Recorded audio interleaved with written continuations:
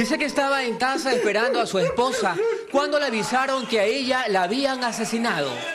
Era de madrugada cuando los delincuentes ingresaron al restaurante Selva y atacaron a la dueña, Norca Diestra Eugenio, de 40 años. Entonces, por esa puerta venía, pum, pum, pum, pum. Por la puerta de allá han ingresado. Ah, para allá, sí. Le hemos cerrado porque como yo soy solo, tengo que hacer movimiento, entonces ¿quién lo ve acá? Su esposa estaba sentada ahí. Estaba sentado ahí mirando para el televisor, porque el televisor está allá. ¿Cuántos disparos fueron? Tres disparos. No le Según- exigieron plata, nada. No, no, no han exigido nada, solamente de frente, pum, pum, le han allanado. Ocurrió en la Alameda del Sur, en Guaral. Una cliente que estaba a punto de ingresar a comprar caldo de gallina al momento del crimen dijo que vio a dos hombres a bordo de una moto lineal.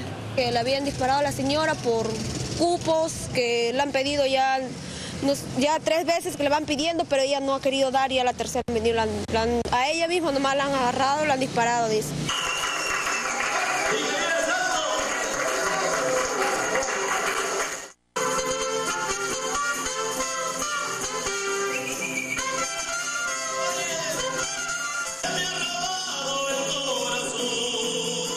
Víctor Villafranca está destrozado. Mientras estuvo en casa, no dejaba de contemplar el video de sus 50 años, cuando bailó feliz con su esposa, de quien dijo estar muy enamorado. El también comerciante cree que se trata de una venganza. Aseguró que hace meses recibió amenazas de los extorsionadores. ¿Le estaban exigiendo cupos? ¿Esa versión es cierta? Año pasado, pero este año no. Año le pasado. pidieron el año pasado? Año pasado le extorsionaban a mi señora, a mí no. ¿Cuánto le exigían? Quería 500 mil soles.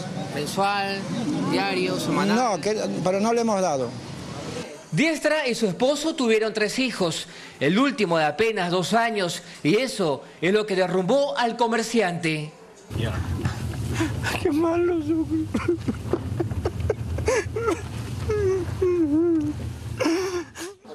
El cuerpo de la mujer se encuentra en la morgue central de Chancay, a la espera de los exámenes de ley. La Divincri de Guaral, por la gravedad del caso, coordinó con la Dirincri de Lima para que se haga cargo de las investigaciones.